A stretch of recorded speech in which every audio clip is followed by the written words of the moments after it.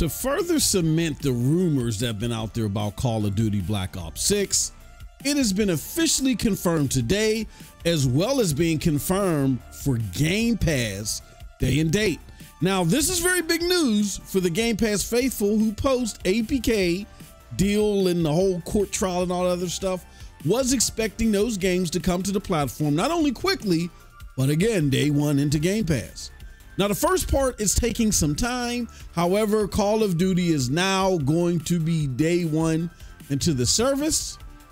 And there's just not a bunch of people excited about this. Some Call of Duty faithful that are not necessarily Xbox or Game Pass fans, they're sparking a debate versus those that are happy about this.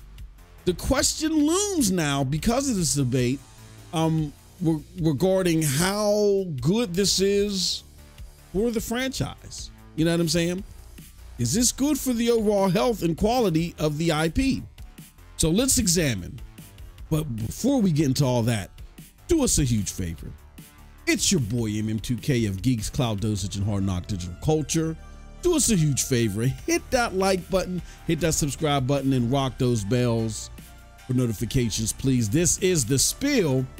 And today on The Spill, we are asking the question What Call of Duty Day One in Game Pass does to the franchise? All right. So, back to this debate. So, we're going to break this up in a couple of parts. First, I, I want to explain why we feel, or I feel at the very least, let me speak for myself, that they had no choice, okay? Now, admitting, admittingly, this is hyperbolic. I mean, they did have a choice, but if you figure that more than anything, Satya Nadella the head of Microsoft, who is the parent company, and by all intents and purposes is the guy that's running everything now um, in regards to Xbox or just leading the charge, I, I believe, more fiercely than Phil is um, at the moment. We all should know by now that Satya wants two things out of all of his divisions more than anything. He wants subscription and cloud growth for all divisions. And so, because of that, this had to happen. You think about it this way if they may not be able to make a whole bunch of money off of Game Pass and, and, and converting people from buying a PlayStation and buying uh, uh, game going to Game Pass instead. But what they could do at the very least are those that do not have Game Pass on the Xbox ecosystem or on the PC ecosystem to now jump into Game Pass. They can at least further that that that olive branch and make Call of Duty a lot more accessible to those gamers who are like a hop, skip, and a jump away from Game Pass. And you know, a lot of people will say, well, they're going to cannibalize sales. That is true. But again, Satya is banking the future of their business sector on subscriptions and cloud. And in all other sectors, he's successful in this stint. So that's why they the investors and stuff love him. Now, a bigger question looms, does this mean success for Xbox because gaming is different than atypical software? And that's a bigger question that we're not going to be able to answer today. I don't think we are. But at the very least, we got to understand the mindset of the guy that's in charge and who is driving the ship right now. He wants subscription services boosted more than anything. And I think we can all agree, regardless of how cannibalistic it is, this will definitely boost Game Pass subscriptions to a certain degree. Again, Will it convert PlayStation people over? I, I, I don't believe so, but I, I do feel at the very least you will have people that are on game. I mean that that have that have Game Pass right in front of them on PC, and more importantly, more of those that are on Xbox um, that will convert over and stop Game Pass growth from being so stagnant. Okay, and anything to help out their their numbers going into the going into future quarters, they're going to need it. So there you have it. Satya Nadella wants those Game Pass numbers still. All right. Also, as crazy as it sounds, I'm putting my tinfoil hat on here. As crazy as it sounds, a, a free to play XDefiant may have forced her hand. Now, you're, you're probably listening to me and you're like, MM, shut the heck up, but hear me out. Hold on. Hear me out. I want you guys to take a look at something. Check this out. All right.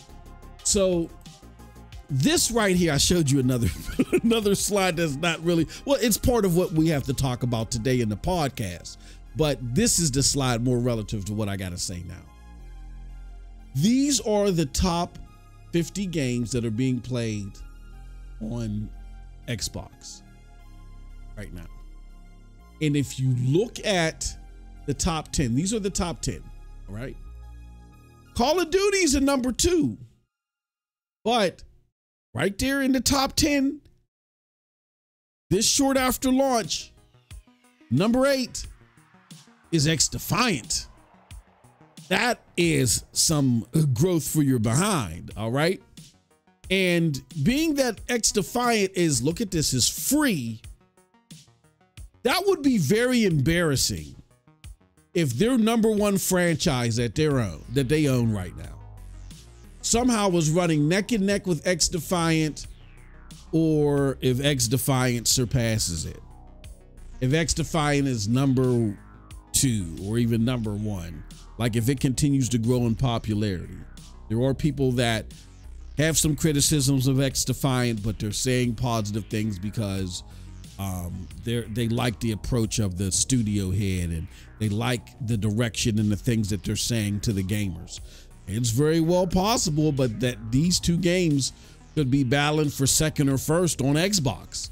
That would be very embarrassing, especially after they spent so much money on Call of Duty for free to play XDefiant to take the reins in the top ranking on Xbox. So you may have had a situation to where we've heard rumors that there was internal debates and those internal debates may have went in the favor of the Xbox faithful like Phil Spencer, Sarah Bond, Matt Booty, who I, I think would favor this type of move. Um, and it and it could have been that way because of XDefiant. So you you make Call of Duty, Black Ops Six, you make it um, essentially free to pay, play, at very least on your platform.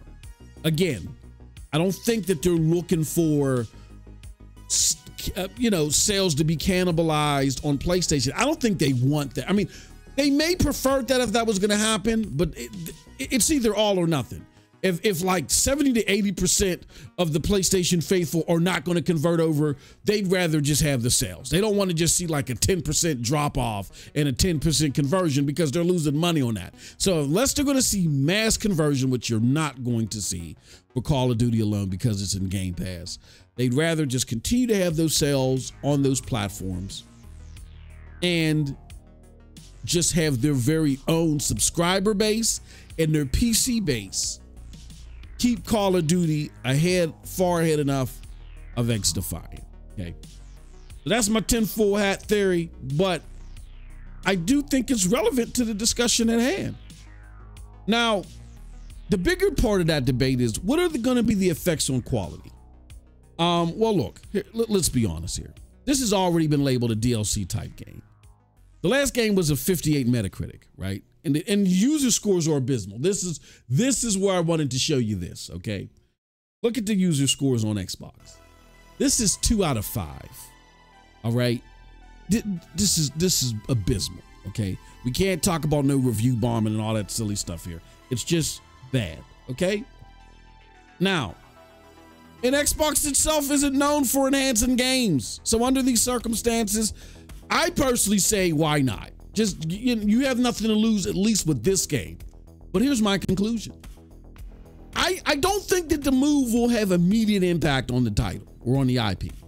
I think it's, you know, something that they had to do because the reputational risk after alluding that this stuff would come day and date to Game Pass would be bad, at least for this iteration. I, I again, I think the current plan is to subsidize Game Pass, uh, you know, buy the sales on on multi-plat platforms, and at the very least, they stay ahead of XDefiant. Um, But what is telling for me is that the overall quality is going to be probably the same abysmal quality that's really not going to bring in a whole lot of new people, that's going to disappoint, you know, the faithful, but they'll still remain faithful. You know what I'm saying? Um, uh, also, to, to culminate that, th- this version is still going to be cross gen. You know what I'm saying? So, what improvements are you going to really get, to get? But I will say this to close out: if XDefiant can find a way to get its ish together, the hit detection criticisms and all that stuff, if they can get their ish together, um, with the subsequent follow up and updates to that game, Call of Duty could be in trouble in the future, but only time will tell. And that's it from your boy. Let me know what you think about this in the comment section below, because like we always say, we're curious what I think. Again, hit that like button, hit that subscribe button if you if you want more. And click those links because they'll lead you to GEIX, Cloud Dose, Hard Knock Digital Culture, and MM2K Gaming. Till next time, have a wonderful gaming day. Peace.